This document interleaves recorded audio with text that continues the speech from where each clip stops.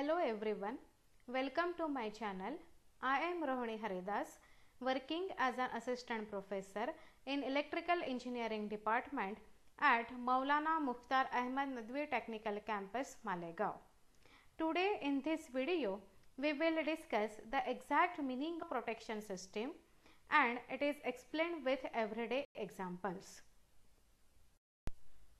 Now the basic question is that why do we need the protection system? We know that no power system can be designed in a such a way that it would never fail. Even in our day to day life, we face the failures, troubles, etc. at some point over the lifespan. So, one has to live with the failures.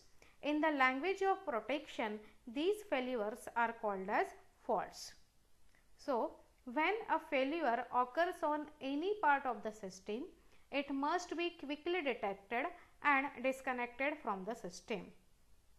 If the fault is not cleared quickly, then heavy currents can damage the equipment used in the power system network and may cause unnecessary interruption of service to the customers. So, for the detection of the fault and isolation of faulty part, we need the protection system. Now the important question is that what is exactly protection system? Now to answer this question I am using this figure. Now my first question referring to this figure is that can you stop or prevent the rain? The answer is obviously no because the rain is not in someone's hand. But the second question is that can you protect yourself from the rain from getting wet? The answer is yes. How? By using the protection system like umbrella, raincoats, etc. So, here umbrella is the protection system which cannot prevent the rain but can protect you from getting wet and sick due to cold. So, what exactly protection system is doing? It is reducing or minimizing the adverse effects of rain on your body by protecting you from getting wet. Okay. Now, now to have the better understanding of this concept, let us consider another example. Again the same question, can you prevent the fire from the happening in the first place? The answer is obviously no. For example, if there is a fire due to short circuit, then at first place you cannot prevent it from the happening. But can you protect the person or the buildings from the fire and further spreading? The answer is yes. Then how? By using the protection system like fire extinguisher.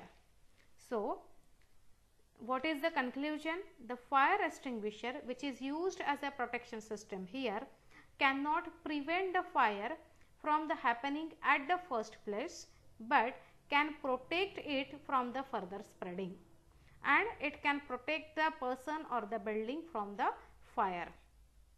Okay. So, the same philosophy is also applicable to the protection system of electrical power system. Again the same question, can you prevent the fault?